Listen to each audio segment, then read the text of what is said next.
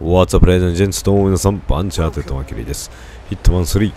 ドバイのミッション暗殺チャレンジ。今回はシャンデリアを落としてターゲット2人を同時に暗殺していきたいというふうに思います。で、ルートはほとんど前回のサイレントアサシンスーツのみで、えーやったルートとほとんど変わりません。少し、少し違うぐらい。えー最後がね、ただまあそれまでほとんど一緒なんですけど、まあ、今回は、えースーツのみで行く必要はありませんので、ボディーガードのクソを奪っていくことにします。あの、ロックダウンするところぐらいまでは同じなんですよ。えーロックダウンするところぐらいまでは同じで、その後が違う。まあ、前回はロックダウンしてから、ファイバーワイヤーで2人とも後ろから暗殺したと思うんですけど、今回はロックダウンしてから、えー上のシャンデリアを銃で撃って2人とも圧死させるという流れです。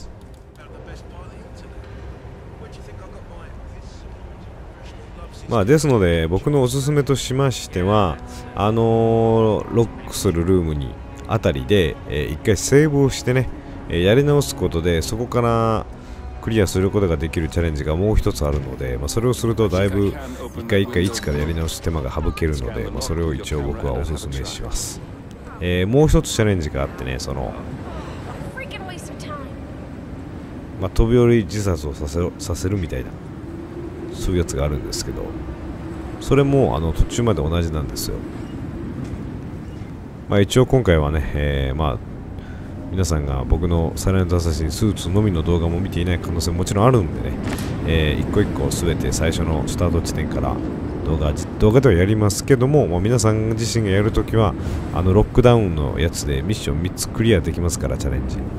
えそこでセーブしてやり直しした方が手っ取り早くチャレンジクリアすることができるのでそちらのやり方の方をおすすめします。はい。でえっ、と、まあ、よじ登る、まあ、この辺も同じですね。であのセキュリティルームに入って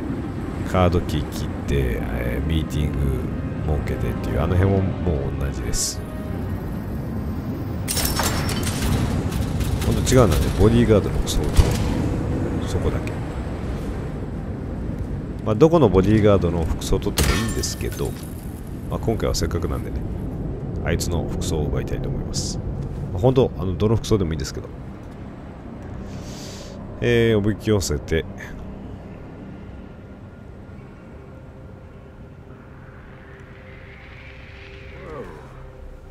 はい、どうやらこの手段は今作も有効のようなんでね、えー自分の姿を見せおびき寄せる。で、えー首絞め。あヒットマン2ではね、この、あのーはい、角からの首絞めがたまにうまくいかなかったりしていたんで、ヒットマン1とか、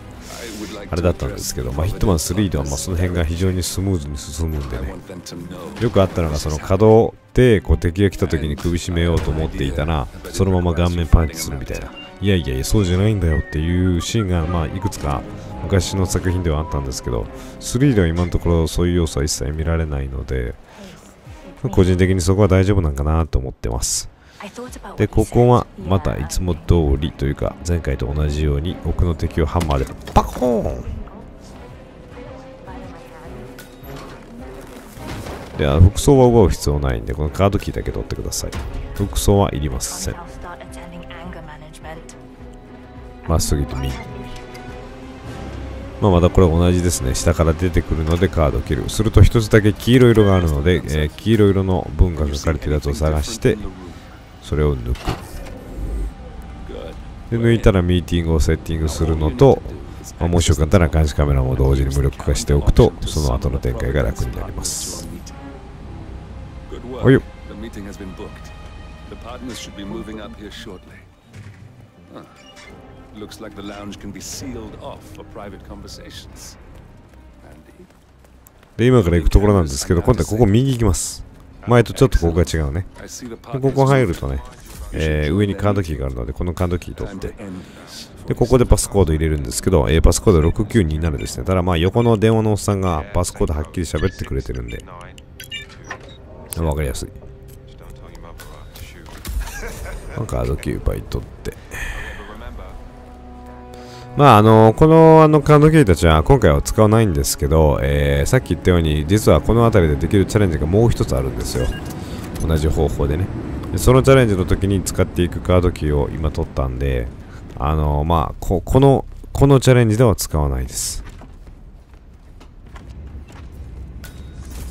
でこれねまっすぐナイフがあるんですよ。でこのナイフもね次回のチャレンジの時に使うんでね。えー、全てのチャレンジをというかまあこの3つのチャレンジを同時に行いたいっていう方は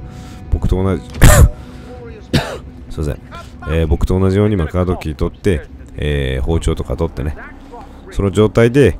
ここに、えー、来てセーブしてやってやってもらうとあのスムーズに進むんで。一個一個チャレンジクリアしていきたいっていう方だったらあの工程無視して一気にここまで来てもらって、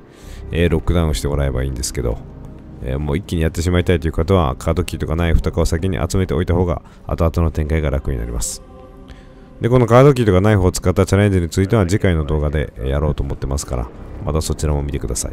はいあとはここで待ってるとね下の階にターゲット来るんですよ。まあ同じですね。でえっ、と今そのこの正面にあるシャンデリアを打ってえっ、と下にあるおるターゲット2人を圧死させるんですけど、まあ、ここから打ってもいいんですけど、まあ、せっかくなんであのーロックダウンしてから、え2人を暗殺しようと思うのでね。だから、えっ、と、まあ、ここでずっと待機してるんじゃなくて、一回、一階に、一旦一階に降りて、えっ、と、ロックダウンして、まあ、下からでももちろんピストルで撃つことできますから、えー下からシャンデリアを撃って2人を圧死させようかなというふうに思ってます。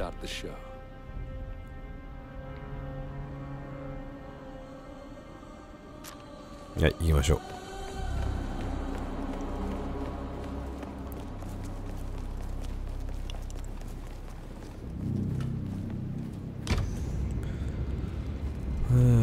と、ここは、あ、ここじゃないね。キッチンだ。よし。はい。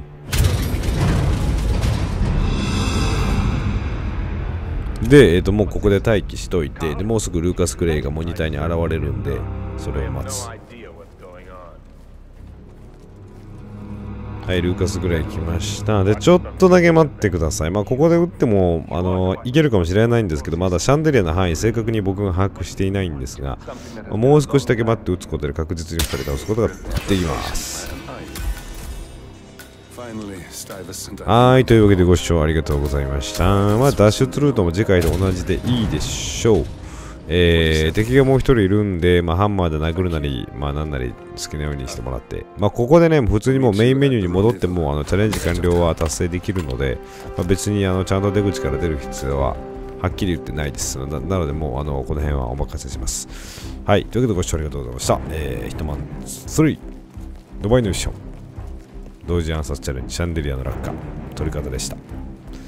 もしよかったら高評価よろしくお願いします So, I see you next time. Peace out. I'll be back.